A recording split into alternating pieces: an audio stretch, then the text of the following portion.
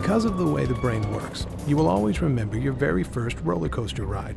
Storing these new experiences is one of the brain's main jobs. In fact, your brain creates a mental blueprint of every new experience you have.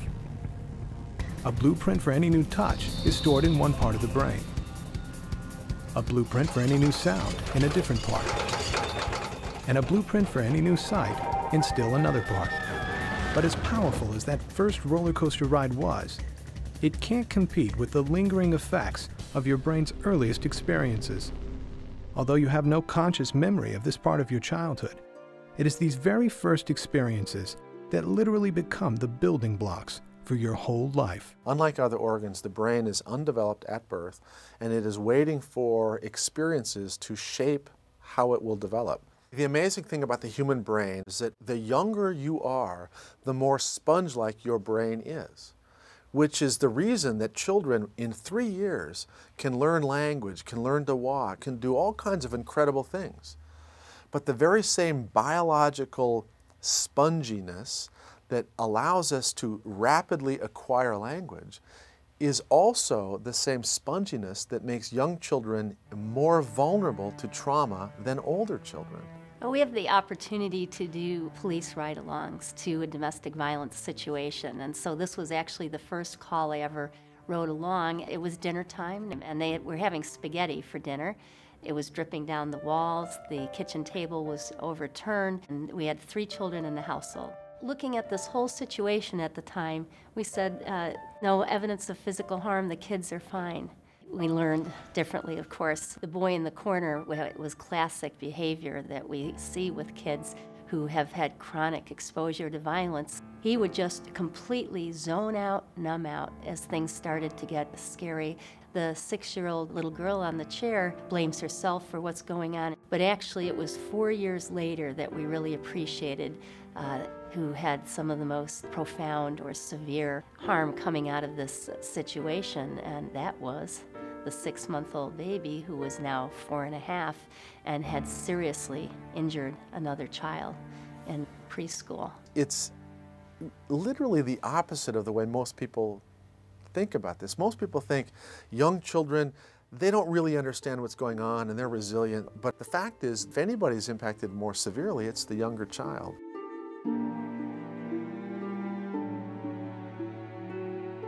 The brain is put together like building blocks in a sense. Those first blocks that go together are the more primitive area, the survival brain. The brain develops from the bottom to the top and from the inside out, so that the normal development of the top part of the brain depends upon healthy development of lower parts of the brain. The top part of the brain, where you do all of your thinking, is the part of the brain that is most changeable, easiest to modify. But unfortunately, if a child has developmental experiences of threat and exposure to domestic violence, the lower parts of the brain will be impacted and they're harder to change as they get older. He was never physically abusive, but he was verbally abusive. There was a lot of, lots and lots of screaming in front of the kids, berating, you know, putting me down, and they pretty much heard it all. Children exposed to domestic violence, children who, who witness their parents fighting, literally are experiencing a state of fear. And when this happens, the systems in your brain that are involved in thinking at the top part of your brain are literally shut down. It changes the brains of these children. My son has seen and heard a lot of the violent outbursts. He was experiencing night terrors and that was probably his way of dealing with it because in his waking state, he didn't know how to articulate at two and a half years old. So it was coming through, you know, when he was asleep. When kids are chronically stressed, one of the problems that we see is uh, difficulty in attachment, in bonding, because they're so focused on survival. It's hard for them to reach out and connect with others. My oldest boy went through a stage where he would bully his younger brother and seemingly laugh in glee. He was not remorseful or had no empathy that he could actually make someone cry. Many, many phone calls of, of him being disruptive in the classroom. He was a very bright kid, but that's when I knew that he was heading toward trouble. A lot of these kids get labeled as being, you know, bad, difficult, defiant. This is a very natural response to their circumstance. What the child is doing is a survival strategy for them, but it creates behaviors that are very difficult in the classroom. When they're in a crisis mode, they can't learn. The tragic reality of children growing up in domestic violence is that they end up with mental health problems at a rate higher than children who are actually the direct victims of physical abuse. My mother was a victim of domestic violence. Um, my father was an alcoholic, a drug user, and uh, it's just a cocktail for, for, a bad, uh, for bad living environment for children. My brother, he looked like he was crying on his way home. Me not knowing, I was just a careless little six-year-old, seeing him climb up to my mom's uh, medicine cabinet. I asked him what he was doing. And he, he boldly said, I'm, I'm killing myself. Eight-year-olds don't talk like that. The first person I, I thought to call was my best friend's mom. By the time she came down to our apartment, he had uh, a butcher knife in his hand, He's just cutting himself um, all over his body. And I was just bawling, just crying. There was nothing I could do to help. My brother was, was crying. He didn't want to be there. He was trying to run out. But I had already known that the home, my home, wasn't my home. You know, it wasn't a place where I felt safe. Childhood exposure to violence uh, is about living in a, a, threatening, scary environment that may escalate to physical violence, but it often doesn't have to. It's the, the chaos, the uncertainty, the fear of being in a home where things aren't okay.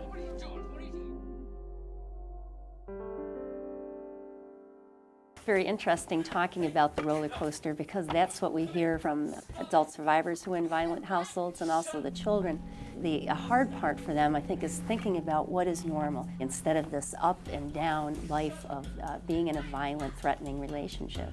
Growing up in my home, there were six children. My mother and father, unfortunately, fought like cats and dogs. As a result of that, two of my brothers end up being batterers. I have two sisters. Even today, they date men that batter them.